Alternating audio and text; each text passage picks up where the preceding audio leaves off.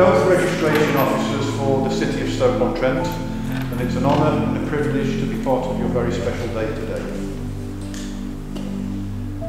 This place in which we are now met has been duly sanctioned according to law for the celebration of marriage. You are here to witness the marriage of this couple, and if any person present knows of any lawful reason why they should not be joined together in matrimony, they should declare it now. Don't think that Steve?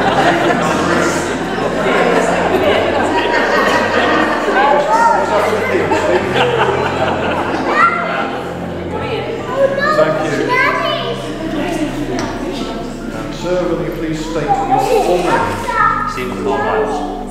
And will you please state your full name? Diane. Thank you. Before the two of you are joined together in marriage, I have to remind you of the solemn unbinding character of the vows that you're about to make. Marriage in this country means the union of two people voluntarily entered into for life to the exclusion of all others. I'm now going to ask each of you in turn to make a declaration that you know of no legal impediment to your marriage, and then through your marriage vows you will make a contract with each other. First of all, would you please repeat after me?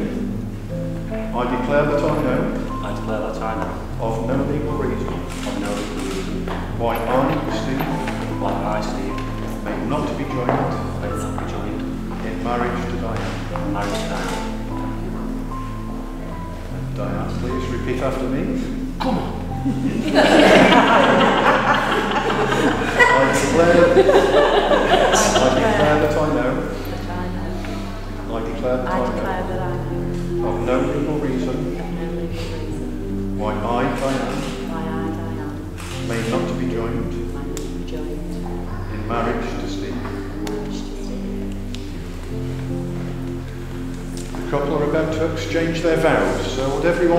everyone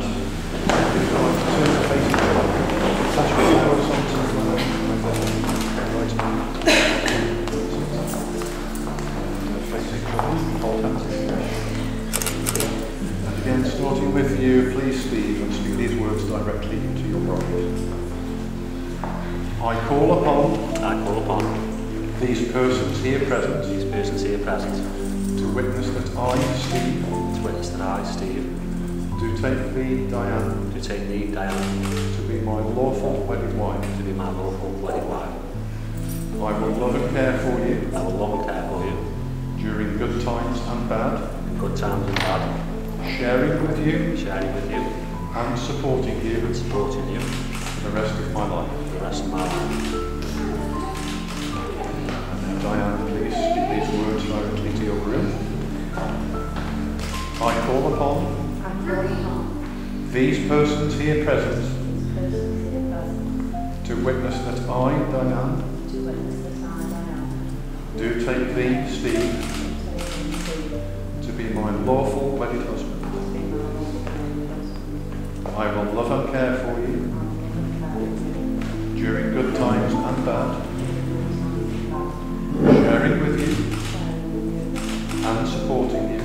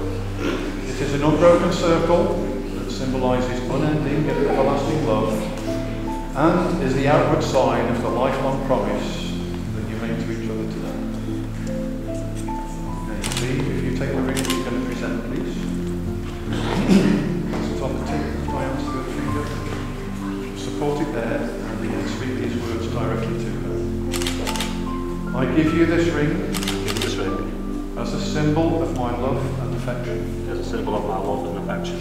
Wear it with happiness always. Wear it with happiness and always. Okay, place it all the way to your finger.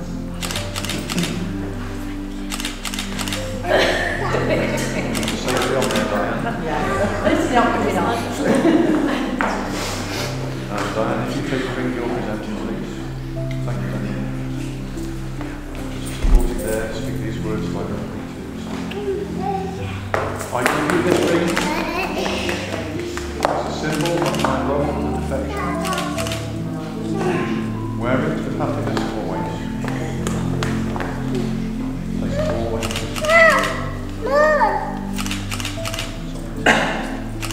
So now, Steve and Diane, you have both made all of the declarations that are required by law. Together, you have made solemn and binding marriage vows before all of your witnesses and guests. It's my very great pleasure to announce that you are now husband and wife.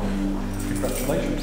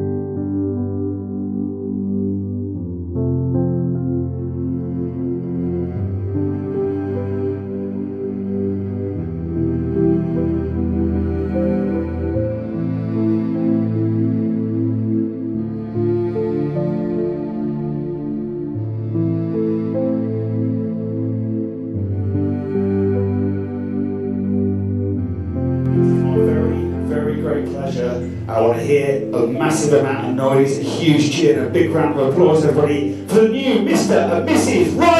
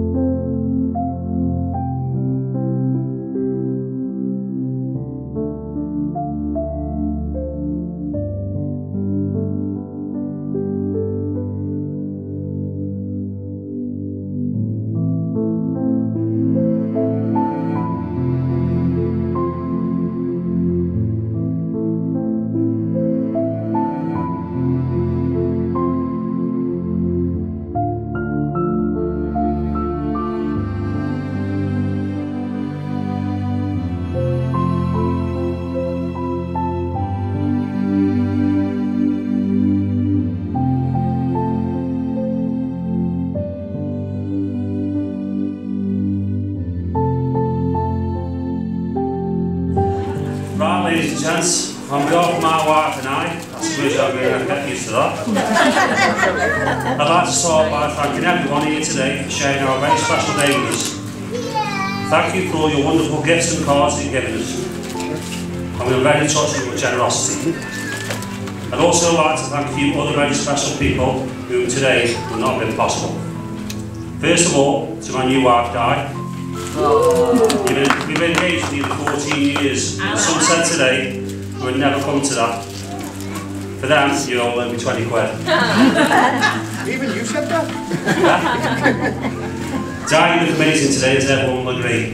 And I'm proud to stand here and officially call you my wife. Then to my professional stepdaughter, Di's maid of honour, Janet. You've helped us with almost everything arranged for the wedding. You've been amazing, and thank you.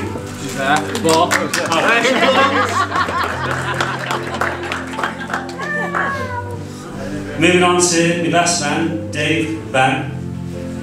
Massive thank you for sorting my stag do. Well, we got there in the end, didn't we? Three hours late.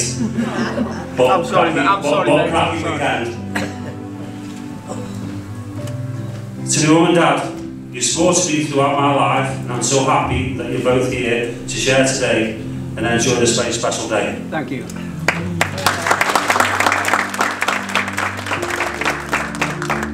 Also, I'd like to thank Rocco, Daniel, Wendy, Joe, Christy, Kian, Indiana and Noel. And also a massive thank you to Charlotte and Ian for everything you've done for us.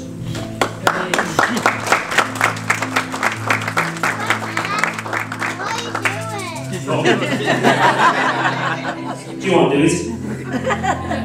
it? In. Unfortunately, it's not been possible to have everyone here today, but we know they're here, here with us in spirit, and not only in our thoughts today, but more importantly, they're with us in our hearts.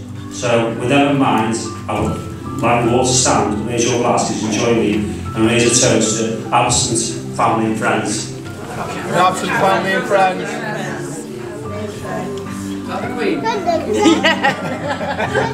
Elizabeth. Elizabeth. Is that the queen? Yeah, just, just do something. You can have it in a minute. Help me, Andy. Come up with the plan.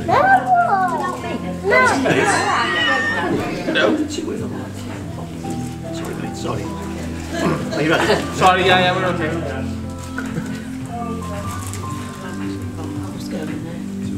We doing this now? Just get some guests out here. Well then.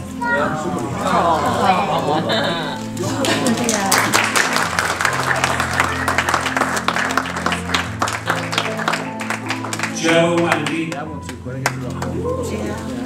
I want to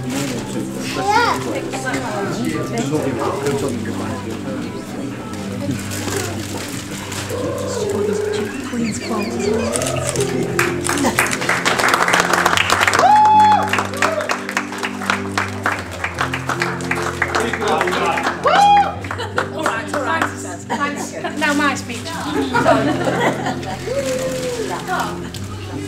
Michelle, Michelle. She's gone for a fag. Yes, you. Thank you, Michelle.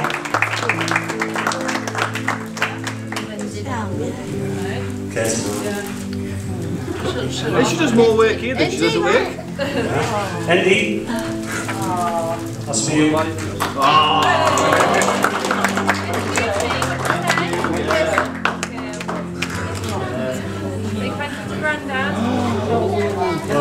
Yeah. Yeah. Noel. He's eating buttons. Not chocolate buttons, the ones off his coat. And a glass of Stella. Kate, I told you.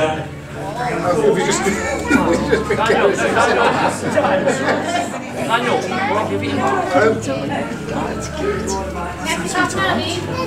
Is that Sky? Get the bag mold. I don't know. What you say? Yeah, It'll stay on for a bit, then goes off. 13 times, you can do my speech. Come on, man. Come on. Come on, come guys. It's like, it's like this tonight, guys. It's gone off now. Right, you give me a scratch card. Any penny out. Dragging on now. Come on. No, not that. No, that's not that. Go take it to Grandad, go. Go take it off. 21. Just a little gift. 21. And then scratch Dave, Scratch the rest of them. Dave. Oh, what's scratch card? There you go, Dave. Thanks so much, mate. Thank you. Thank you, man. Oh, thank you very much.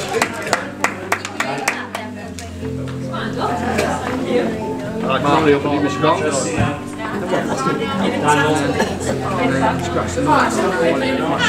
Go.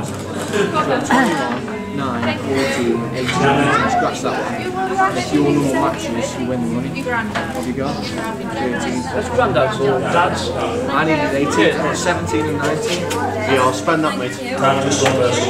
No, thank you very much. Voucher for Bono.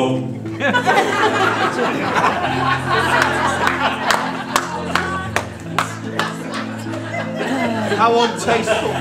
Uncouth. I would now like to water stout and a raised glass, glass to my new bag, Diane. Cheers. Stephen Dyer!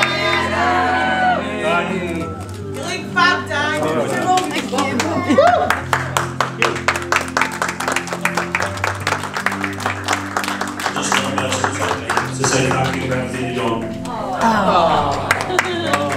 Gail's fault.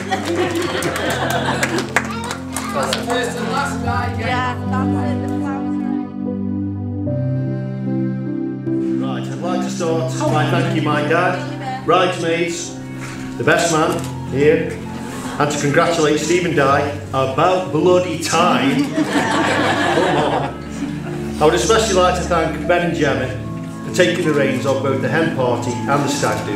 I know how stressful it's been for both of you, so thank you. For those who don't know me, I'm Dave, Steve's brother. Ladies and gentlemen, before I came here today, one of my good friends gave me some advice on giving a speech. Steve over there, actually. He said, think of it like walking through a nudist camp. It's only hard for the first minute. A few months ago, Steve said, I really don't want you to speak at my wedding, but you're the only brother I have.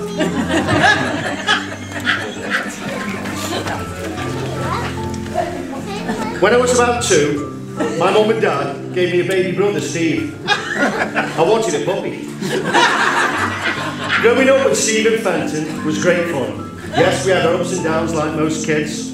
By 1974, mum and dad gave me and Steve a baby sister, Wendy. We weren't that bothered. We both would have preferred a puppy.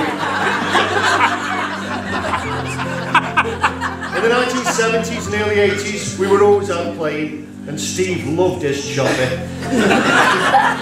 uh, for the younger guests, that's uh, a bike. it was a bike. it was, it was a bike. sorry, man, sorry.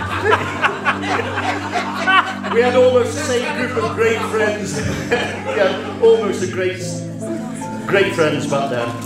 We were either chasing football or chasing girls. I must say, Steve was better at football. but not as good as our mate Gudge. kids being kids, I remember 79, 80, when Steve and our cousin Will set fire to some fields in Port Lane opposite Gudge's house. And then phoned the fire brigade, and then Outland put it out, and then they both were praised by the firemen. put it out. Unbelievable, but true.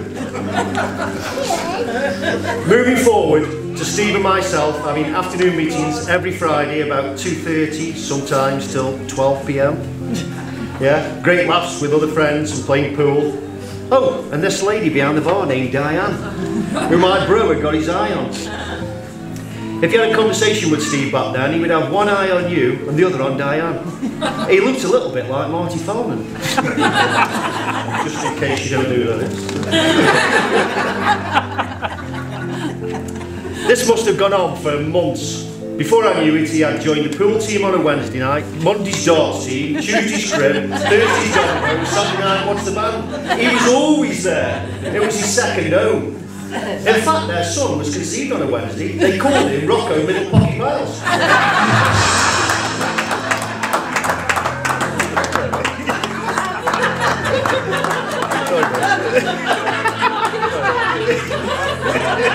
Was that true? sorry, sorry, Rocco. Where is it? Yeah. This is how the classic does. Diane, although you've been a part of our family for over 18 years now and shared with many great times together, like the time on holiday at Endron with me and Steve having to carry you with your broken leg, absolutely smashed, back to the caravan, and Mum and Wendy having to assist you to the toilet.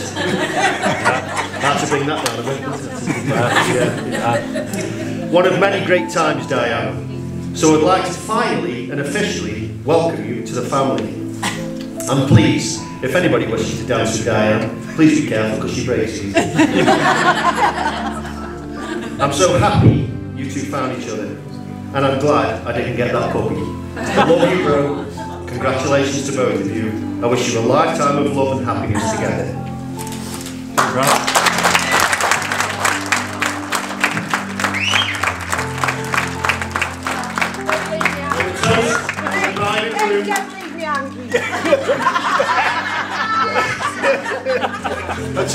toast to the bride and groom. Yamos, Saul. Saul. First of all, ladies and gentlemen, I'd like to congratulate again Mr. and Mrs. Ryles. Can we give a round of applause? Steve and I today has been amazing so far, and in the famous words of D:Ream, things will only get better. You, cho- you, have chosen a fantastic venue today for your special day. I'm sure it's been everything you wished for and more. And I'd like to speak on behalf of everybody else here in the room today and say thank you for letting us share your special day with us.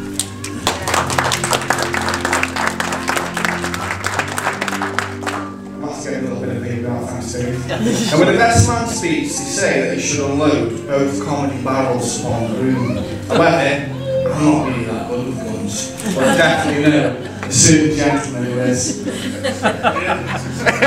well, some say Steve, some say, some say. Uh, now Steve's already mentioned this, you sort of stole his thunder a little bit, but I know that there are some people who aren't with us today but wish could be. And unfortunately, as I say, they aren't. And even though they're not with us in body, I know that they will all be with us in spirit. So I'd like to raise a glass. As Steve already mentioned, to family and friends. Cheers. Cheers. Cheers. Now for all of you that now for all of you that don't know me, I am now proud to stand here and say that I am officially both Di and Steve's son-in-law, and my name is Ben. if you don't know me, of Hi, course. Ben. Hi, Ben. Massive, occasional person out there doesn't know who I am. Uh, and I'd like to thank Steve for giving me the honour of being one of his best men. Now they say that the best man's speech should last as long as it takes the groom to make love. So we've already went out. Cheers. No, but honestly, it means a lot to me that you've given me the honour of being the best man. The stag was a great day, enjoyed by all of us, I'm sure you all agree. Even if getting there was a slight remake, Planes Trains and Automobiles. Uh, I know you did proud and gave the great send-off that you deserve from Liverpool. And what as they say, what stays on tour, I mean, what happens on tour, stays on tour. Yeah. However, the pension Steve Mac keeps ringing me and asking me So will you please give her a ring back, she's looking for them to. Now, Dad, I know you're mother-in-law, and this is a bit of weird thing to say, but today, darling, you're beautiful. Please don't hold that against me. Alright? And I'm sure everybody will agree. As do both the bridesmaids and the flower girl, well, I'm obliged to say that as I'm married to one, father to. And that one basically lives in my house anyway, so you know. Now looking back to the first time that I met Jenny, she told me that mum and dad got mum and stepdad ran a pub. And the stepdad used to be a bouncer, so to say I was a little bit concerned with some of his statements. Uh, but I went around and I remember the first day sitting there, walking in, meeting Diane and Steve. Uh, lost some place here. Feel a little bit nervous. They walking around, meeting Di and Steve. And after a few minutes of standing there, chatting with them both, I was more terrified of Di than I was of Steve. I also remember the time when we went round and we sat watching TV, and Di, Steve, Joe, I think you were there as well. And within a few minutes of sitting on the sofa, Di turned around to me, she said, you have to sit that close. I said, well, yeah, it's a three-seater sofa and three people sitting on it, so to go? Um, are we? I've lost my place. That was it, yeah, yeah. Over the past two decades, I don't feel too old, um, you've, been bo- you've been there both for me and Jenny and the kids whenever we needed you, whether on family holidays, get-togethers, and moments of sadness, both you and Di will only recall away, and I'm forever grateful for that, thank you. Looking back on the times of call, giving you a ring on a Saturday morning and asking you how, how did you the kitchen tap? You say, don't worry man, I'll be around in a minute, we'll get it sorted. Which consisted of me and you spending the entire weekend playing the Mario Brothers, driving around so sheds, trying to find the right connectors and pipes and blocks. You know, but I really appreciate that. And in more recent times, you've been fantastic grandparents to both Indy and Noel. You love the weekly visits to Nanny, Grandad, Grandad Balls, Grandad Silly Sausage, you know, whatever you decide to prefer on that day. Now, according to Steve's Facebook profile, he states that he studies adult movie making and he's a high school. Now, as a former high school pupil, I hope your exploits, Steve, didn't include any former students in that school. For obvious reasons. You don't know what that means, come speak to me bar and explain to you drink. Don't explain to me.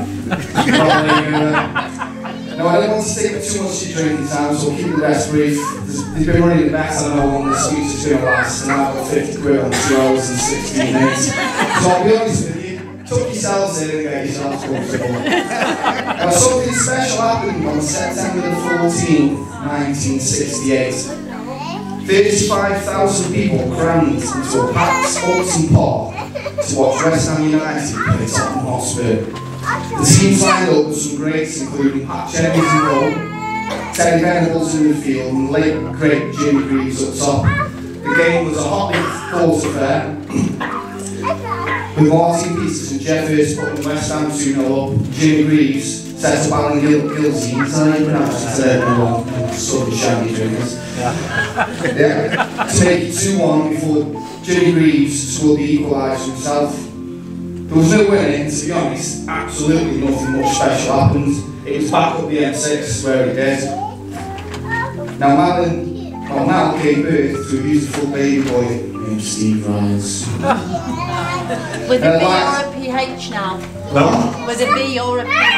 we don't know if it's a V or a No, PH. no, from today it's legal with both. Oh, so let's make official. That today Steve's name was with a V And with a PH. and with a PH. Who Mal doesn't know why she named him Carl. So we don't actually know how Steve spells his name, but if you ask me, he'll write it down for you with his parents. No, he wasn't, he wasn't down in London, he was back at the M6 where Mal gave birth to the beautiful boy, as I mentioned, Steve Ryles. Now I'd like to thank Mal and Ken for bringing such wonderful, caring, hard-working and dedicated son like Dave and Steve. Well, I'm cool with Steve. Sorry, mate. So I don't just, I don't just see Steve as a father-in-law, I see him as a friend and mentor, and I love both you and Di to pieces. Thank you for giving me this great honour again of being your best man. Steve a father-in-law and a friend, I just want to let you know then the unlikely event that you ever rush to hospital, I'll go straight round to your house and I'll clear your internet browser history. if you're ever lost whilst you're hiking, I'll be out looking for you, mate, up until it stops raining. and if your car ever does break down, just to let you know, I'll be there to see you if you push. When life gives you lemons, I'll be there to help make lemonades, no matter what the obstacles life may throw you, I'll be by your side. And last thing, despite what everybody says, mate, I think you're alright. I'd like to raise a to Mr. and Mrs. Ryles. Score! Cheers.